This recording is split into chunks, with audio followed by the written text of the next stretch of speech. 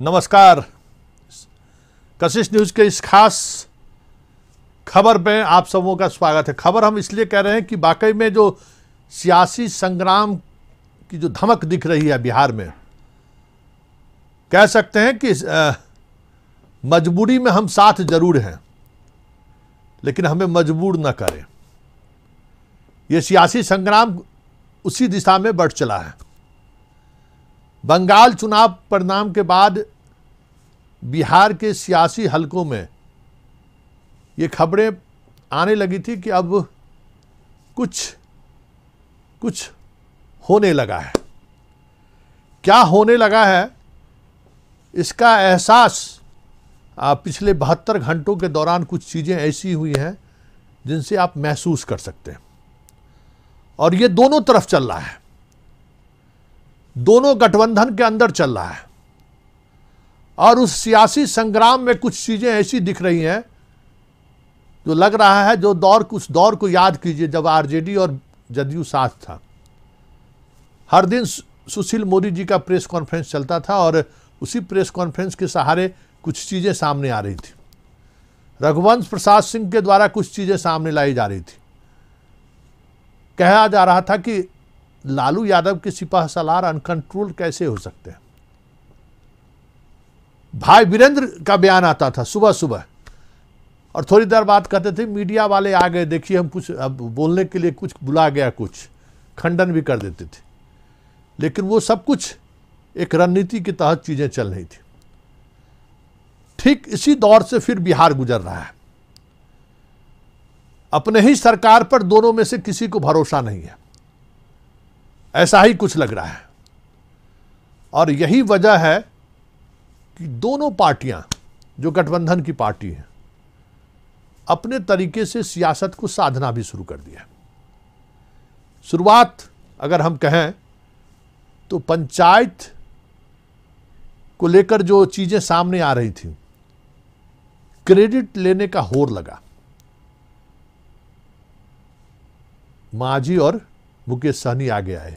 कि ये credit BJP को ना मिल जाए, इसलिए ये दोनों आगे आए। जरा इस खेल को समझिए और इस संग्राम को को महसूस कीजिए कि आखिर बिहार में हो क्या रहा है। तो तो आपने देखा कि शुरुआत कैसे हुई? पंचायत प्रतिनिधियों को लेकर कैबिनेट की बैठक हो ही रही थी। उसी दौरान टॉस हो गया। मंत्री, पंचायती राज मंत्री टॉस करके ये दिखा दिए कि भाई, बीजेपी जो है चाहती है कि वही जनप्रतिनिधि बने जो बीजेपी चाहती है। मतलब बीजेपी चाहती है कि जो मुखिया हैं जो प्रमुख हैं जो जिला परिषद अध्यक्ष हैं वो बने रहें। शुरुआत वहीं से हुई है। तो उसको काटने के लिए मांझी और मुकेश सहनी उस अ, कह सकते हैं कि उस कुनबे के सहारे सियासत साधने की कोशिश की जो नीतीश कुमार चाह रहे थे। मतलब सरकार में हम साथ साथ हैं, लेकिन दिल मिलना तो दूर। अब दिमाग से सब कुछ खेल हो रहा है। ये सियासत मतलब होड़ लगी हुई इस बात को कि हम क्रेडिट ले।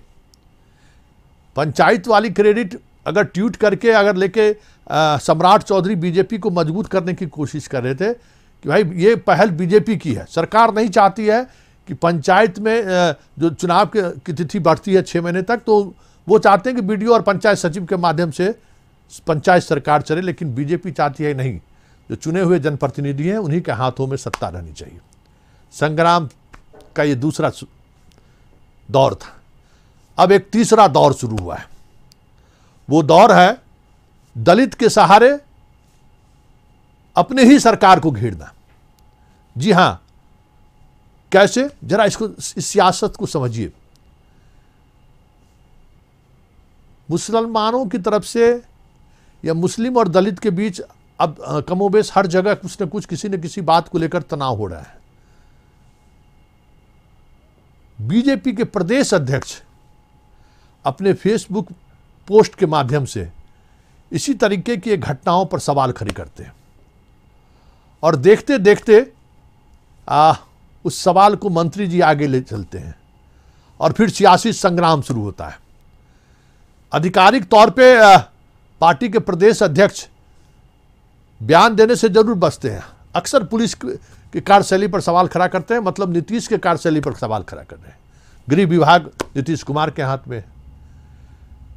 तो संजय जायसवाल नीतीश पर हमलावर हैं या नीतीश को जिस तरीके से टारगेट ले रहे हैं तो फिर बिहार बीजेपी चाहती क्या है? जरा देखिए, इसी संग्राम को आगे बढ़ाते हुए जीतन राम मांझी आगे आए। गौर करिए एक ट्वीट के सहारे। तो जरा देखिए उस अब अब उस सीक्वेंस को आप समझिए कि ट्वीट के पहले फेसबुक पोस्ट आता है। जरा हम आपको अपने टीवी स्क्रीन पर दिखाएँगे कि संजय जायसवाल का वो फेसबुक पोस्ट जिस पो, पोस्ट पे उन्होंने पोस्ट के सहारे सरकार को घेरने की कोशिश की और अपने सियासत के अनुकूल जो पिच है उस पिच पर वो खेलने की, की तैयारी कर रखा है। फिर जीतन राम मांझी जवाब देते हैं कि पूर्णिया में दलित और मुसलमान एक साथ हैं, उनको तोड़ने की कोशिश करने की ज़रूरत नहीं है। जो लोग तोड़ने वाले हैं, वो कहीं न कहीं नुकसान पहुँचाने की कोशिश कर रहे हैं। ये सियासी चीज़ें चल रही हैं। उसके बाद फिर बांका में घटना कल घटती है। बांका में जो खबरें आ रही हैं, जिस तरीके की खबरें आ रही हैं, वो खबर खबर भी अब सियासत का रूप धारण कर लिया है, संग्राम का रूप धारण कर लिया है।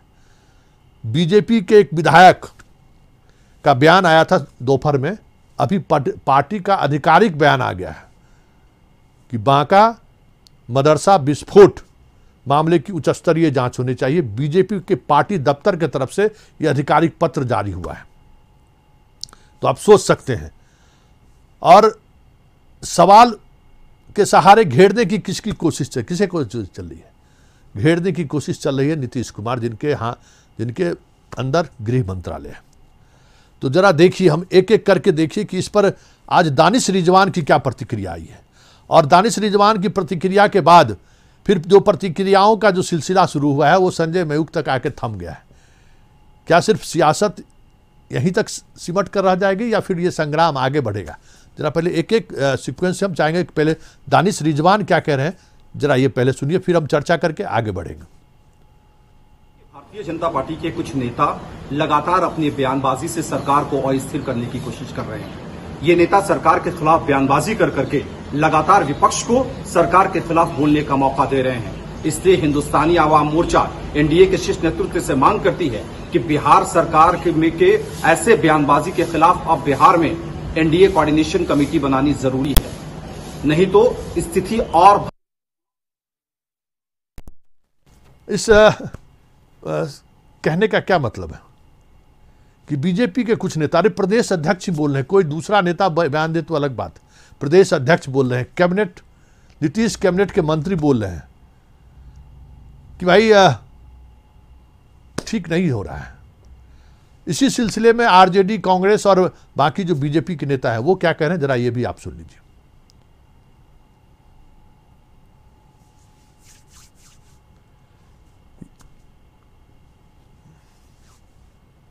बंद करने की ज़रूरत है तो कूटनीति, बंद करने की ज़रूरत है तो अशिक्षा, बंद करने की ज़रूरत है तो अपराध, बंद करने की ज़रूरत है तो भ्रष्टाचार, बंद करने की ज़रूरत है तो भ्रष्टाचारी को। तो स्कूल, विद्यालय और मदरसा को बंद करा के हम किस भारत का निर्माण करना चाहते हैं? तो जिसके आका नरेंद्र मोदी खुदे कभी स्कूल नहीं देखे तो वो तो चाहवे करेंगे कि मदरसा बंद हो जाए। थोड़ा पढ़ने लिखने की बात कर लेंगे, भारतीय जनता पार्टी के लोग। तो मुझे लगता है कि भारत का भी कल्याण होगा। इसीलिए नरेंद्र मोदी के शासनकाल में लगभग 10 करोड़ पढ़े लिखे नौजवान बेरोजगार हो गए हैं, क्योंकि जिनके एमएलए ही ऐसे हों जो शिक्षा जगत को बंद करने की बात करें। फिर बाकी का क्या हो? बिहार को रसातल में ढकेल कर एक कोऑर्डिनेशन कमेटी की मांग कर रहे हैं लोग। हर एक दूसरा घटक दल एक दूसरे को बीच कर रही है। कोई किसी को उंगली काट रहा है तो कोई हाथ काटने की धमकी दे रहा है? तो ये सरकार नहीं चल रही है। ये खाना पूर्ति है। ये बेमेल गठबंधन है। इस गठबंधन का बेड़ा गर्क होना ही होना है। इसे कोई नहीं रोक सकता। और नीतीश कुमार जी ने अपनी सामाजिक न्याय, अपना लोकतांत्रिक लोकलाज सबको तिलांजलि दे दी है। सब कुछ भाजपा और आरएसएस के हाथ में गिरवी रख दी है। हमेशा महा ये सरकार के अंग रहते हुए भी जन समस्याओं को उठाने का काम किया चाहे वो कोरोना का मुद्दा हो चाहे वो पंचायतों को अधिकार दिलाने का मुद्दा हो सब बातों पर उन्होंने अपना बे, अपना टिप, बेकार टिप्पणी करने का हमेशा काम जी हाँ इस पर बीजेपी की भी प्रतिक्रिया आई है। आ, इस, इस सियासत को हम आगे बढ़ाने से पहले ज़रा इस संग्राम को समझ लीजिए कि बांका पर लेके, को लेकर बीएसपी के विधायक क्या करे। और उसके बाद संजय मयूख, हालाँकि संजय मयूख सधे हुए बीजेपी के खिलाड़ी हैं, मीडिया प्रभारी हैं। और जो अक्सर आप देखिएगा, संजय मयूख इस तरह के मसले पर बड़ा आसानी से अपने आप को लेफ़्ट टर्न लेते थे जरा सुनिए कि पहले मधुबनी में बीएसपी के जो विधायक हैं, बचौल जो जिस, जो आधिकारिक पत्र जारी होने से पहले जिसका बयान आया है, जरा वो भी सुन लेते हैं। फिर संजय मयूख क्या कहें, जरा उस पर भी हम वो उस पर भी हम ध्यान आकृष्ट कराएँगे आपको। फिर हम अपने ब्यूरो चीफ अशोक मिश्रा के पास चलेंगे पहले, लेकिन जरा सुन लीजिए, स्टेप बाय स्टेप तब चीज़ों को समझने में बेहतर होगा। हुआ है इसकी उच्च स्तरीय जाँच हो। साथ ही यह अब स्पष्ट हो गया है कि मदरसा में केवल धार्मिक और आतंकवाद की शिक्षा दी जाती है। मदरसा में विस्फोट यह साबित करता है कि वहाँ आतंकवादी गतिविधियाँ चल रही है, वहाँ आतंकवाद का पाठ नौनिहालों को पढ़ाया जाता है। मदरसा के शिक्षा से आज तक न कोई डॉक्टर इंजीनियर बना है। उनको बच्चों को ये सिखाया जाता है कि दूसरा धर्म के लोग काटने योग्य हैं, कातिल हैं, वो जब तक इस्लाम न स्वीकार कर लें, तब तक उनको प्रताड़ित करो तो ये सब कुछ नीतीश कुमार के नाक के नीचे हो रहा है। एक वो भी गठबंधन था, जब 2005 में सरकार बनी थी, जब एनडीए गठबंधन। जब तक मोदी जी, सुशील मोदी जी और नीतीश कुमार की जोड़ी रही इस तरह के बयानबाजी से विधायक तो कम से कम बचते ही रहे। गिरिराज सिंह भी बोलते थे और दूसरे दिन खंडन कर देते थे। चंद घंटों में ही बात बदल देते थे। लेकिन इस बार सियासी मिजाज कुछ और दिख रहा है। हिंदू, मुसलमान के स्पीच पे अब दलित और मुसलमानों के बीच सियासत को घेरने की कोशिश हो रही है। और इसकी वजह क्या है? और इस सियासत के सहारे किस वोट बैंक पे? क्योंकि दलित ही एक ऐसा वोट बैंक है जहाँ हिंदू को लेकर, जहाँ हिंदुत्व को लेकर सबसे ज़्यादा हाल के दिनों में उभार देखने को मिला है। इसकी एक वजह भी रही है कि जिन इलाकों में हिंदू और मुसलमान की संख्या है, और उन हिंदुओं में उन हिंदू की संख्या है जो दलित हैं, उनके साथ मुसलमानों का भी व्यवहार सामंतों जैसा ही रहा है। और सुगर पालते हैं मुर्गी पालते हैं उनका तरीका जी, अगर जन जीवन यापन की अगर तरीका करें तो वो कहीं कहीं मुसलमानों के धार्मिक मान्यताओं के खिलाफ भी जाता है। और हाल के दिनों में जहाँ कहीं भी तनाव हुआ है बिहार में भी उसमें अधिकांश जगहों पर दलित और मुसलमान आमने सामने आ रहे हैं। दलित एक बड़ा वोट बैंक भी है जिस वोट बैंक के सहारे हमें लगता है कि मांझी भी घिरते जा रहे हैं। मांझी की समस्या सबसे ज़्यादा ये है कि जहाँ कहीं भी तनाव हो रहा है, उसमें मांझी जिस वर्ग, जिस जाति से आते हैं, वो कहीं न कहीं फ्रंट पे फ्रंट फुट पे आके लड़ाई लड़ने की मूड में दिख रहे हैं। और बात अगर बेटी की होगी तो स्वाभाविक तौर पर तनाव बढ़ेगा ही बढ़ेगा। और उस तनाव में बीजेपी जिस सियासत को को लेकर चल रही है तो निशाने पर नीतीश आएँगे ही आएँगे। चलिए, अब एक छोटा सा ब्रेक लेते हैं। ब्रेक के बाद हम आपको संजय मैयू क्या कर रहे हैं, जरा वो भी सुनेंगे और उसके बाद फिर हम अपने ब्यूरो चीफ से बात करेंगे कि संग्राम का प्रतिफल क्या होगा। सियासी संग्राम को समझने के लिए जो लगातार पिछले एक सप्ताह से जो घटनाक्रम है, उस घटनाक्रम को आपने समझा, क्रोनिकली हम आपको समझा रहे हैं। कहते हैं ना, अब इस राजनीतिक नैरेटिव में क्रोनल, कैसे सीक्वेंस में चीज़ें बढ़ रही हैं।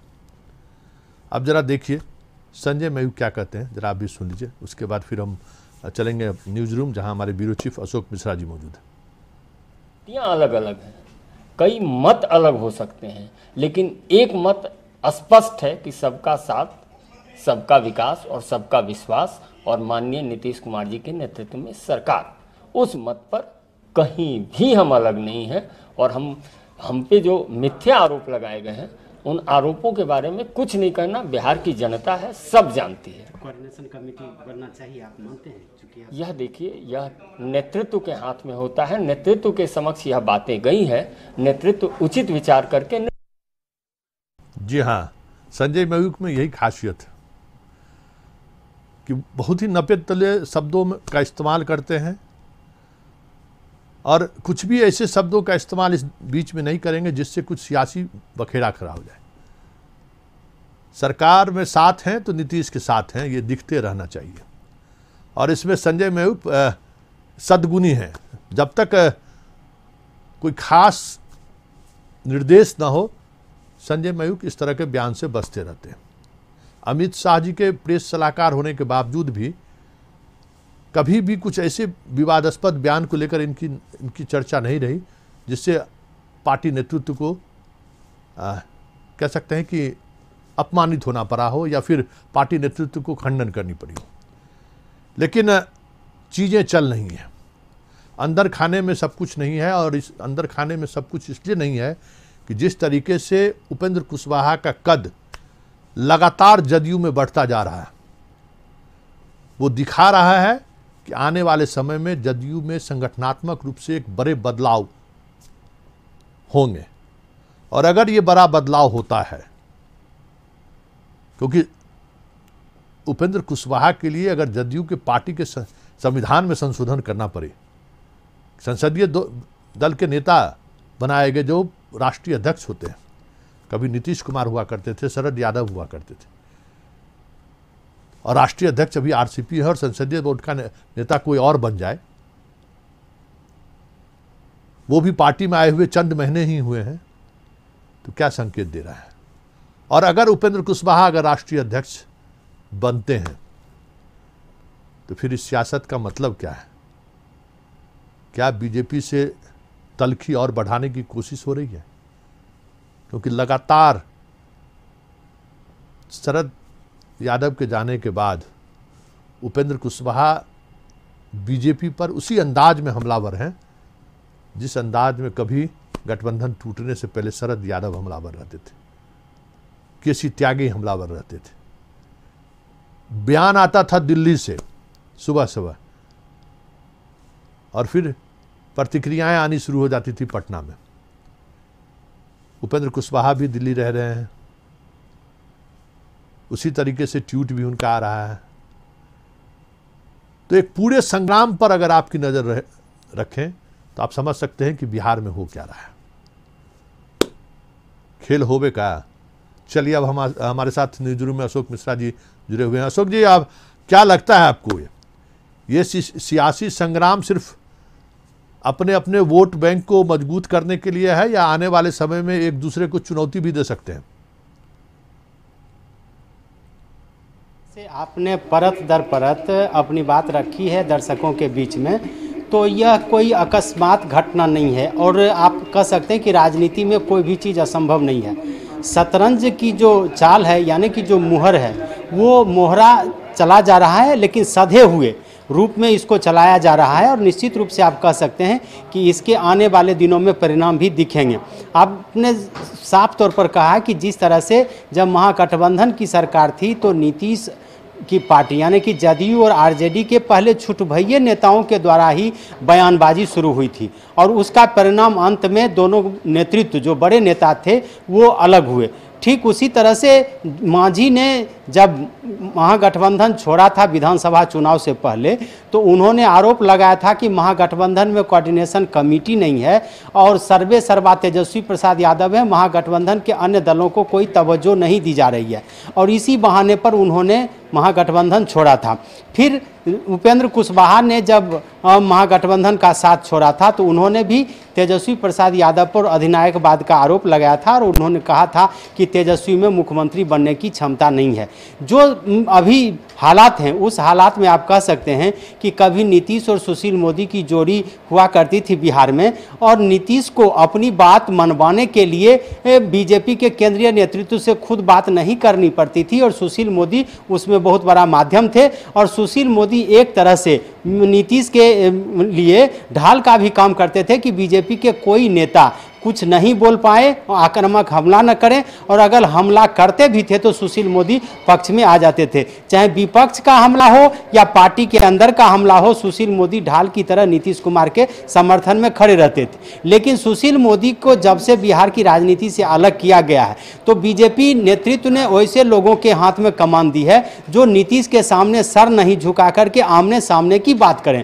और यही वजह है कि संजय जायसवाल जब से अध्यक्ष बने हैं, नीतीश पर हमलावर रहे हैं। लेकिन नीतीश ने चूँकि बीजेपी के साथ अलायंस है तो आरसीपी सिंह जैसे लोगों को, ललन सिंह जैसे लोगों को कमान दी कि चूँकि बीजेपी की वो तरफदार रहे हैं और बीजेपी से उनकी अच्छी छनती रही है। लेकिन आरसीपी या ललन सिंह बीजेपी के साथ वह गिव एंड टेक नहीं कर पाए, यानी कि जो नीतीश चाहते हैं वो नहीं हो पा रहा है। वैसी परिस्थिति में उपेंद्र कुशवाहा एक अच्छे मोहरे हैं और उपेंद्र कुशवाहा बागी तेवर के नेता रहे और अपनी बात को स्पष्ट रूप से कहने के वो आदि रहे तो ऐसी परिस्थिति, दूसरी बात है कि नीतीश का जो वोट समीकरण है, लव कुश, उसको देखते हुए जिस तरह से पिछले विधानसभा चुनाव में नीतीश की पार्टी हाशिए पर गई थी, और इसमें अहम भूमिका उपेंद्र कुशवाहा का भी है। तो ऐसी परिस्थिति में नीतीश चाहते हैं कि कुशवाहा के बहाने लव कुश समीकरण तो मज़बूत हुआ ही, और बीजेपी पर दबाव भी बने। यानी कि बीजेपी को अगर समझौता रखना है, नीतीश के साथ अगर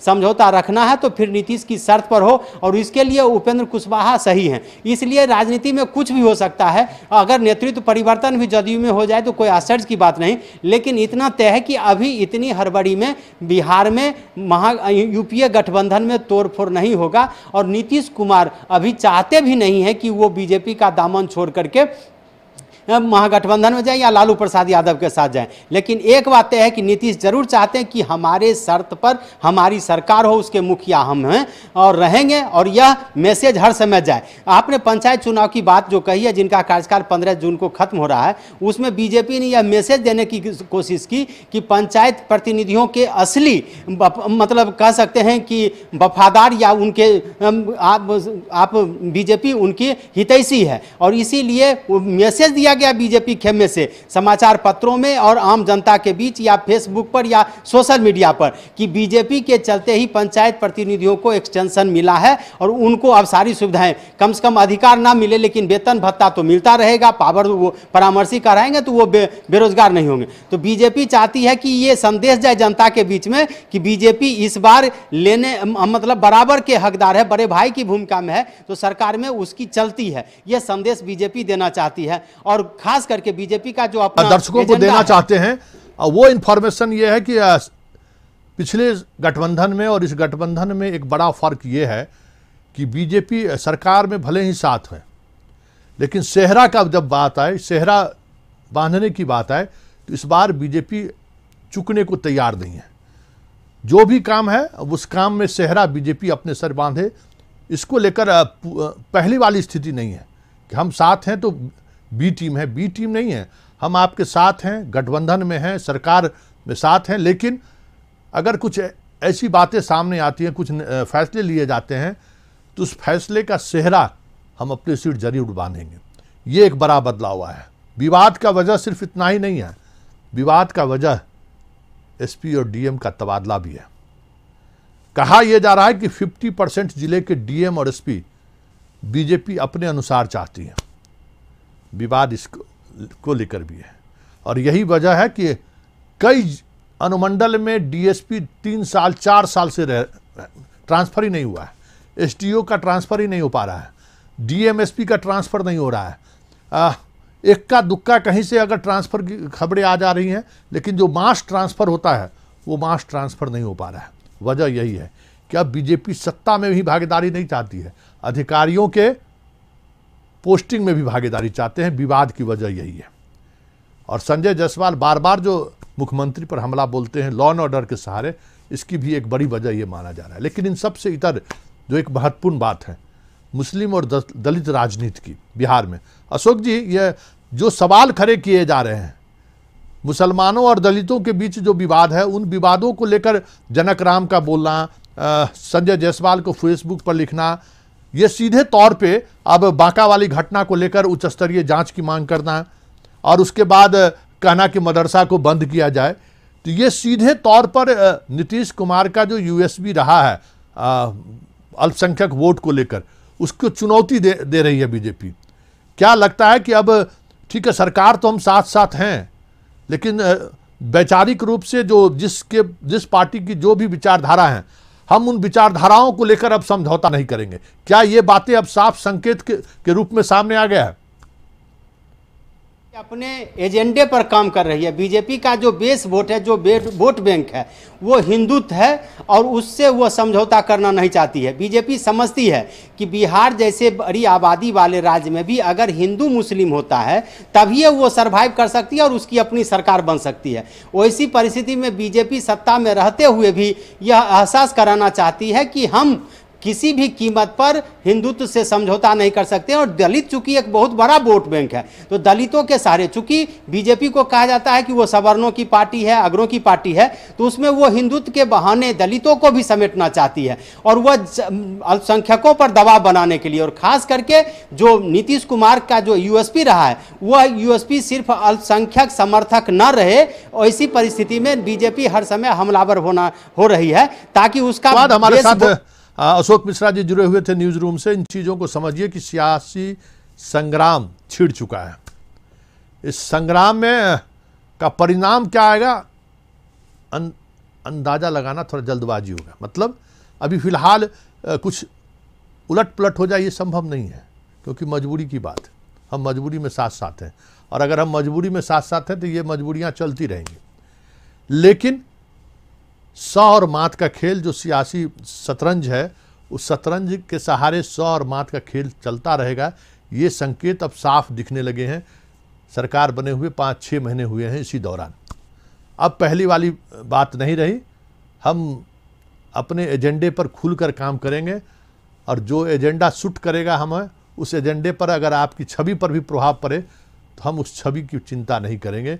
सेक्युलरिज्म का जो एक फेस दिखाने की नीतीश कर, कोशिश करते हैं, उस फ़ीस, फेस पर सीधी चुनौती अब बीजेपी देनी शुरू कर दी है। चलिए इस खास कार्यक्रम सियासी संग्राम को यहीं समाप्त करते हैं।